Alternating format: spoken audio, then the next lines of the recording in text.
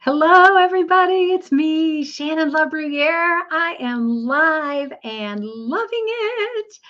Welcome to Sunday Night Live, where we explore the principles that equip us to thrive in change the change we want, the unexpected change, the change we planned and didn't turn out the way we wanted, all manner of change from the smallest to the greatest we explore the principles that allow us to be strong and good. And I want to welcome you. Thank you for being here. Hi, Kelly. I'm glad you're here. You're the first one to say hi in the comments. So, welcome. If you are new to Sunday Night Live, I invite you to allow StreamYard to use your name and profile picture. And say hi in the comments. Oh, hi, Carol. Carol's ready for tonight. I am too. Um, thanks to those of you who reached out and said you really enjoyed our best of Sunday Night Live last week about core beliefs. Uh, it's one of my favorites, and I'm glad that it it helped you. And I was able to spend some really great time with my sister in Florida and my dad, uh, who is in a nursing home there. And so it was just a great long weekend for me to be able to connect with my family. And as much as I loved that, I missed you guys and I am really glad to be back. So thank you. All right. So tonight, our Thrive principle that we are going to explore is trust the process. Hashtag trust the process. There are so many processes at work in our lives. And when we become aware of them, we can then intentionally tweak them so that they suit us better.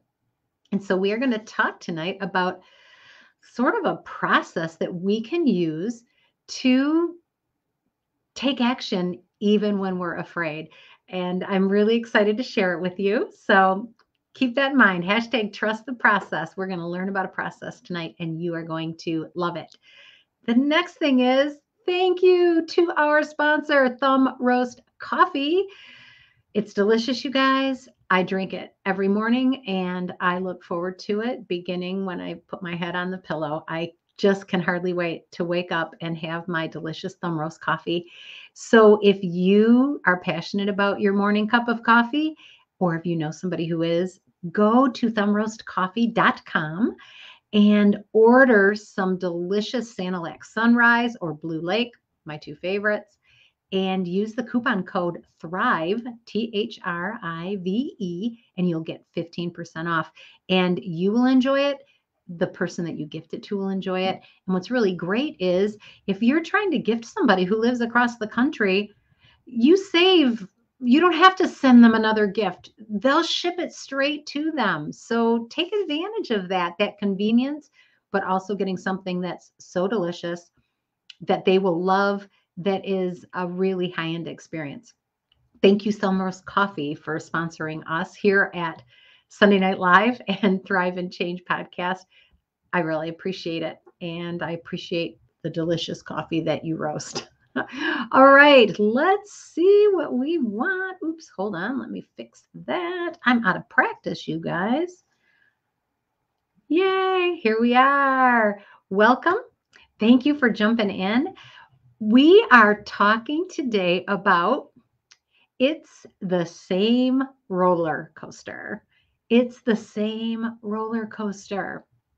So, when I went to Florida for my long weekend. My sisters, I have um, was able to connect with one of my sisters who lives in Florida, and then I traveled with one of my sisters who lives in Michigan, and we went to see my father at the nursing home, and then before we left, we went to Universal Studios Amusement Park. Anybody been there? Anybody been to Universal Studios Amusement Park? Give it a thumbs up or a heart.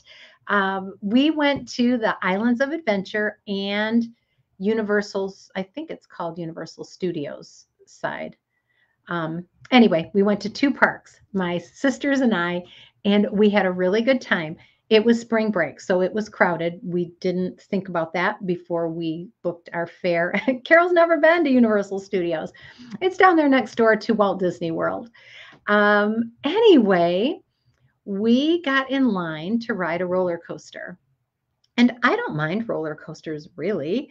Um, I've been on some. I, I rode uh, all of the roller coasters at Cedar Point, and I enjoyed every one of them until the one where my my legs were swinging. I cannot remember what that was called, but it was hideous, and I was scared beyond belief. And I said I would never do it again. Never do it again. I was so frightened. Just I drew the line. I drew the line. Anybody else been there? You you go on a ride at an amusement park and you say, "Oh yeah, that's not happening again." No, no, no, no, no.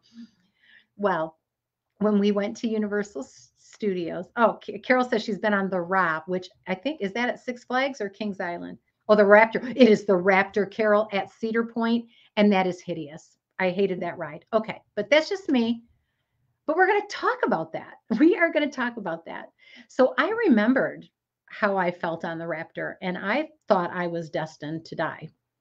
Uh, just me. Uh, you know, there were hundreds and thousands of people who had ridden that ride, even the same day I rode it. But I just, I just was convinced I was the one who was going to go flying across Lake Erie, and it scared the fire out of me.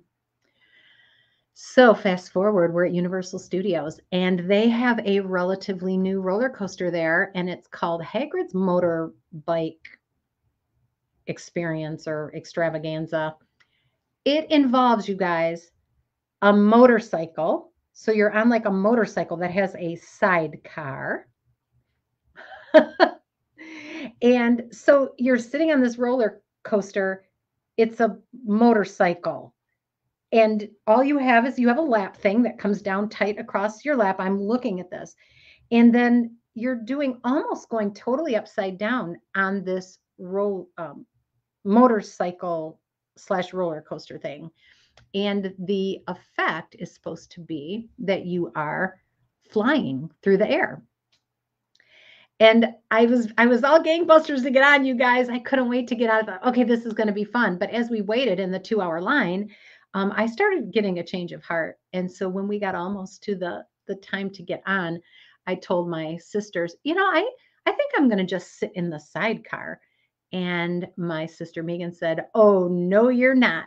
She said, "You've waited in a 2-hour line. You are going to ride the motorcycle." So, I decided I would. And here's where the fear kicks in, you guys.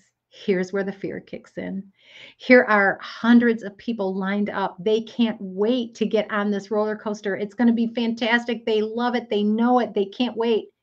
And I was dreading it, feeling almost close to tears, having this panic thing on my chest. It's the same roller coaster.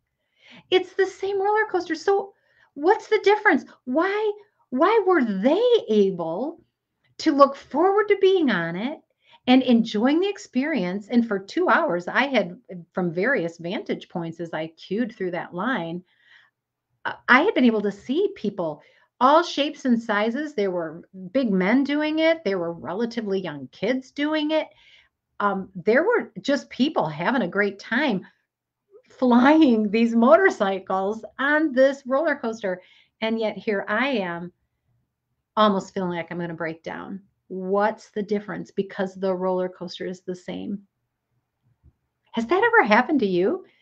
Has that ever happened to you where you're looking around and thinking, why is nobody else in a panic? Because I'm I'm feeling it. it's it's because fear has attached itself to our story. The story we are telling ourselves about that ride is a fearful story. And so, as I'm in this line, now I've got about 15 minutes till it's my turn to get on that motorcycle. I started thinking about how I coach and some of the people that I've coached and how they've been really afraid to take some of the action that they took. And here I am coaching them and saying, you've got to do it afraid. Just lean in and do it afraid. Everything good is on the other side of fear. Go, go, go. And that is 100% true. And I thought about the times that my coach has said that to me. Shannon, you can do this. Put it out there. Let people sign up. See what happens. It's going to be okay. Everything good's on the other side of fear. And I've done it. But for some reason, I had never connected that to this roller coaster. I had never put two and two together that that same process, and here we are at hashtag trust the process, the same process that I use to coach my clients, to coach myself, or that my coaches use for me to encourage me, it's the same process. Change the story that you're going to tell yourself and lean in and get past the fear. Everything good lies on the other side of fear. I love what Maslow says about fear. He said, We are constantly, as people, making the choice are we going to step forward into growth or backward into safety? Forward into growth or backward into safety. And so my wheels got turning, and I thought, you know what?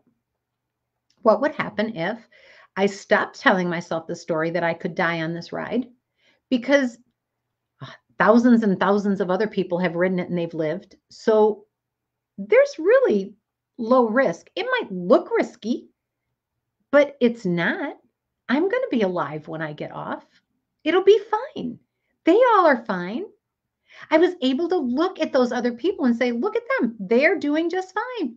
Those little kids are doing fine. Those grown-ups are doing fine.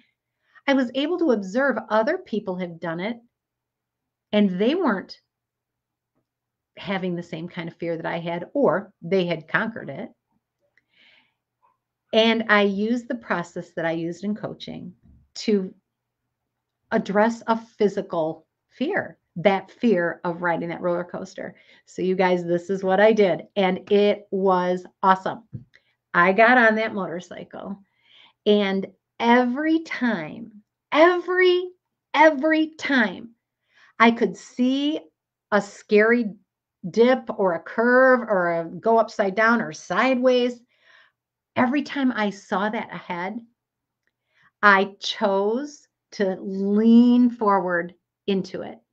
I actually leaned on that motorcycle like I wanted it to go faster and said out loud, I'm a big fan of talking out loud. Yes, yes, yes.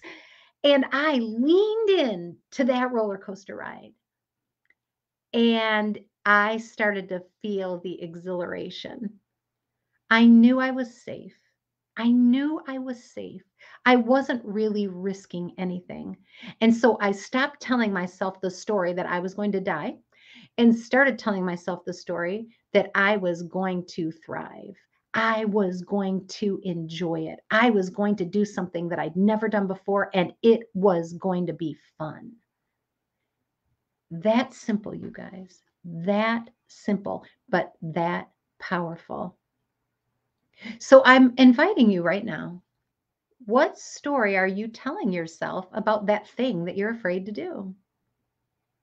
What story have you told yourself? Because the thing is the same. Are you afraid to sign up for college? Are you afraid to leave a, a, an abusive relationship? Are you afraid to leave a safe and secure job that's sucking your soul dry?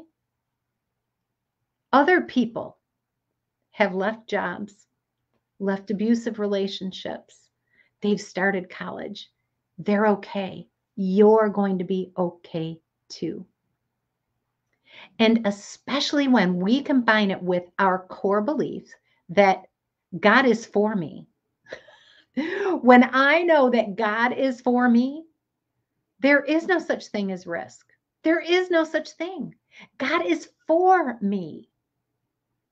So, where are you going to take a look at the fear that's been preventing you from taking action. Where are you going to look at that and start telling yourself a different story?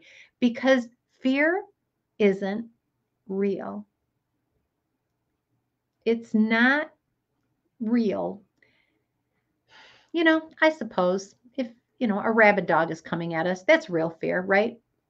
I'm talking about the fear that comes at us when our lives aren't really being threatened, when it just feels like the terror barrier is so strong that we'll never get past it. And in reality, other people do those things hundreds and thousands of times a day. We can take great strength looking at other people and seeing that they have done it and they're thriving. Where could you change the story you're telling yourself so that you're able to take the action you need to take to have the life you know you want? Drop it in the chat. I invite you, take a moment, think about that. What area of your life do you want to apply this principle to?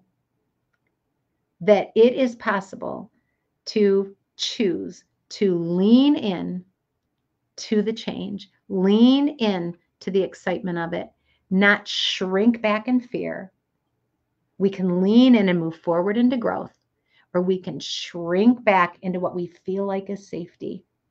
But it's the same roller coaster, you guys. It's the same one. I'm afraid of it. The person next to me isn't. I loved the graphic that went along with the Facebook announcement that I put out about tonight's broadcast. I love it. If you haven't seen it, check it out on Facebook. It's on my uh, Thrive and Change page. I love it so much. Um, it is a picture of two people sitting side by side on a roller coaster, and it is such a clear illustration of how one person can be terrified and the other person can be exhilarated and they're on the same roller coaster. Carol said she loved it too. and Carol also says that Kelsey, her daughter, loved the raptor. So there you go. Who knew? Who wants to share? Where are you going to stretch? Ah, Carol's the terrified one in the roller coaster. Yeah, and you know, there's nothing that says we have to ride roller coasters. But I will tell you this practicing facing fear and overcoming it helps make us strong. It helps us get really good at the process of dealing with fear.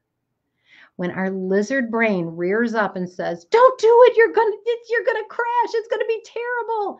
And it's not truly a life threatening thing, when we practice looking that fear in the face and saying, Fear, I see you, but I choose love. I know that what I've got to do is more important than the fear that you're throwing up in my face.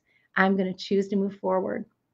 Your dream, your vision, your personal self worth, all of that is worth overcoming fear to preserve and overcoming fear to grow.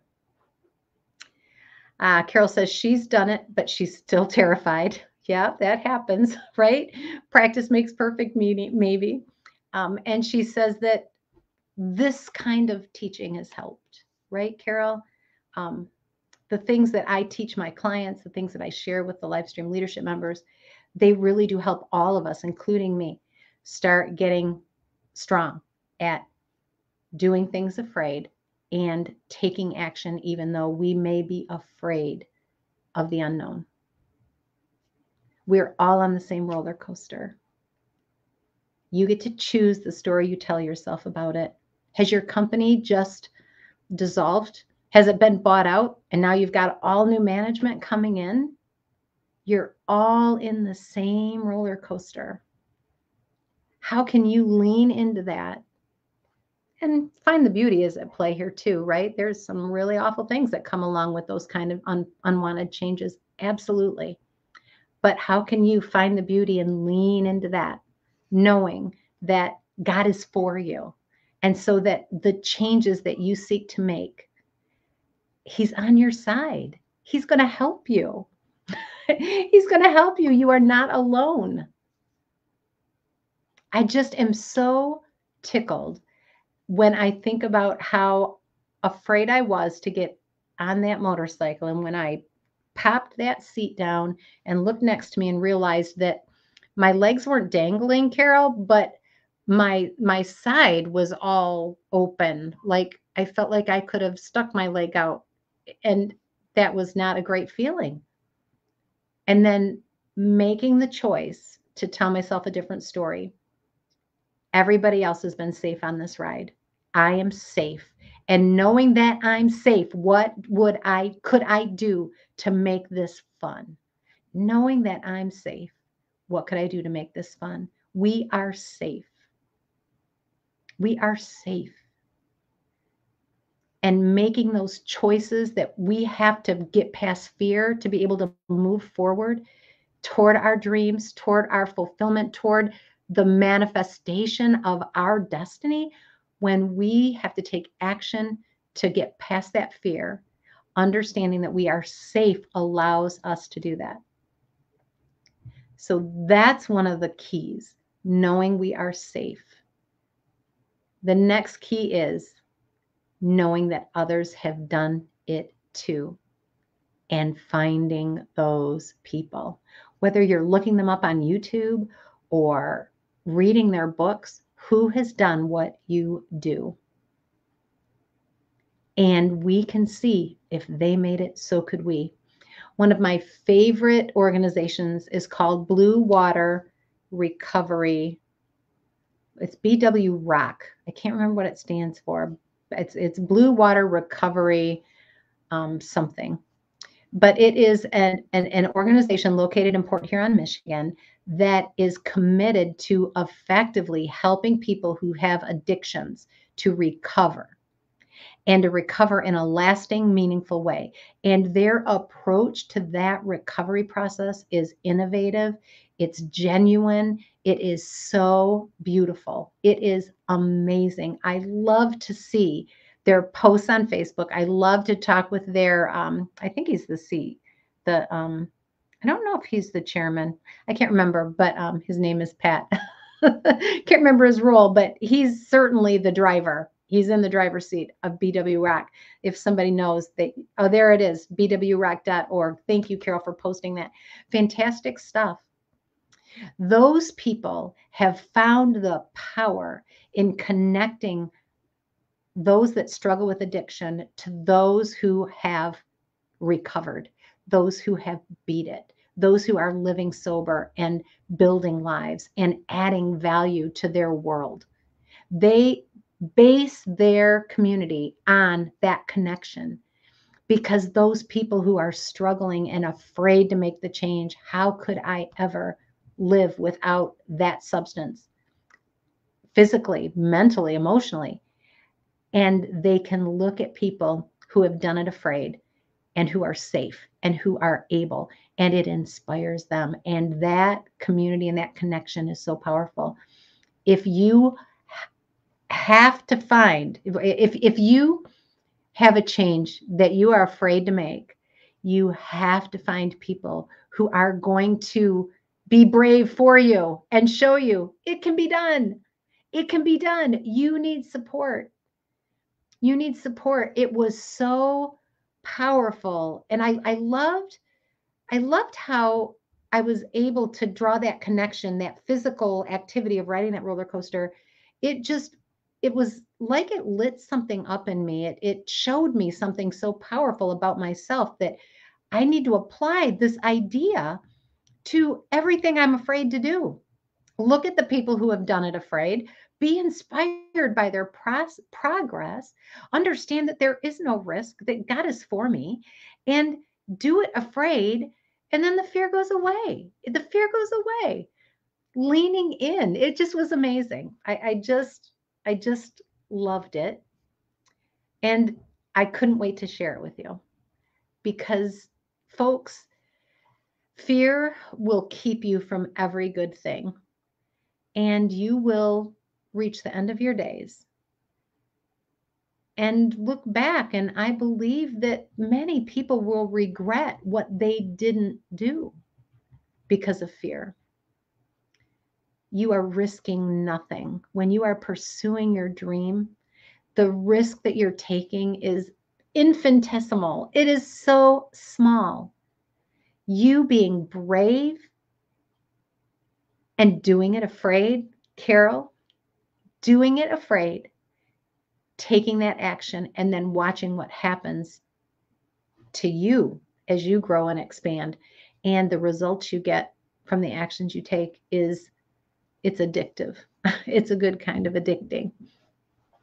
What are you going to apply this principle to? What are you going to look at in your life and say, you know what, I've been afraid to do that. And I'm on the same roller coaster as everybody else. If they can enjoy it, so can I.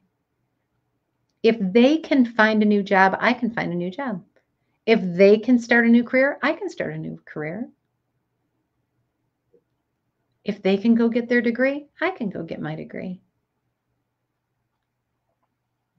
I used to network with a guy who he started his career as an engineer and he did not like it. He didn't like the upheaval in he was working in the audio industry. He didn't like the upheaval of that. He didn't like that they were always getting laid off and he was always worried about his job and so he took a look at his career and in his 30s decided, "You know what? I'm going to be a doctor." and he went back to school and he became a foot surgeon it was a risk, but he pursued what he loved. He knew he was miserable.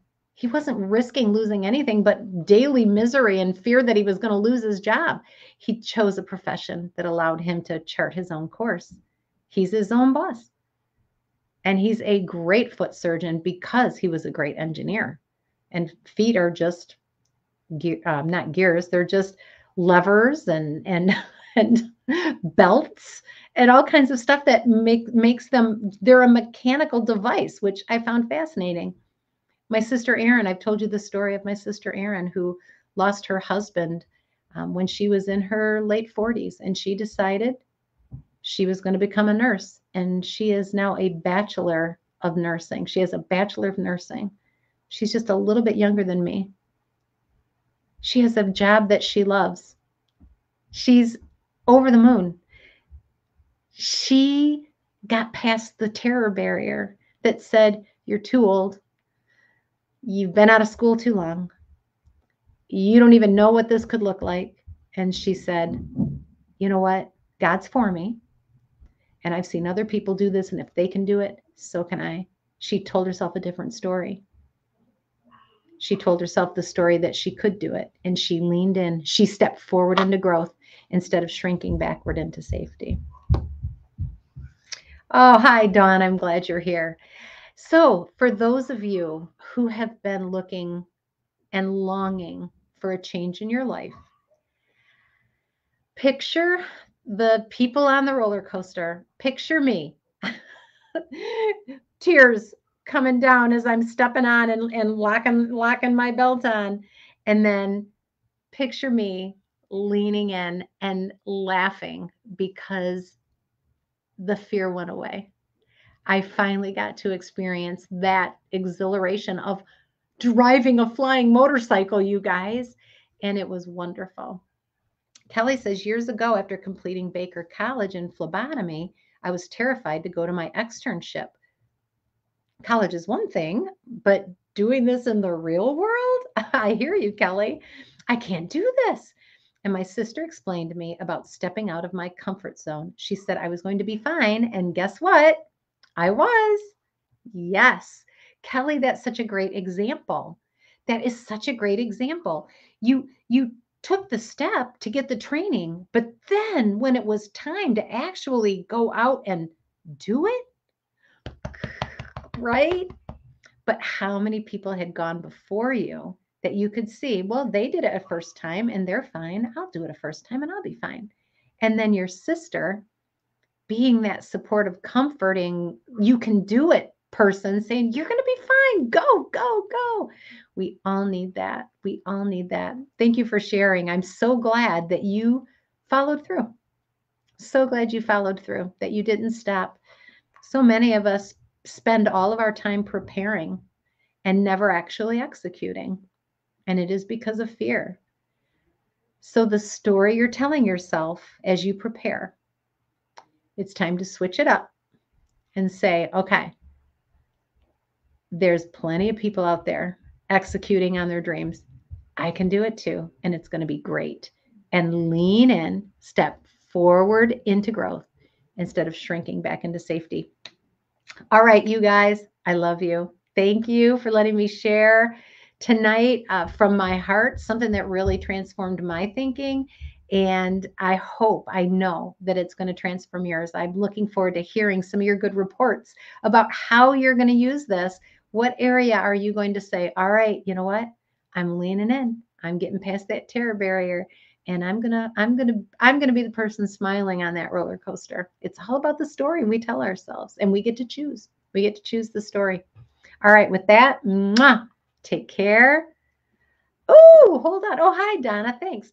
And Carol, I'll, I'll I'll chime in with this comment. I lost my job at John Hancock when I was 37 and had to try something new, and it was really such a blessing. Yeah, we we feel like we've got our path cut out for us, and then something unexpected happens, that unexpected change, and all of a sudden we're just upside down but you chose to do something that was scary and also has turned out to be such a great thing, right? You started your own business, which is pretty amazing. So well done, Carol. talk about uh, talk about getting past the terror barrier and stepping forward into growth, right? I love it. All right, you guys. Goodbye.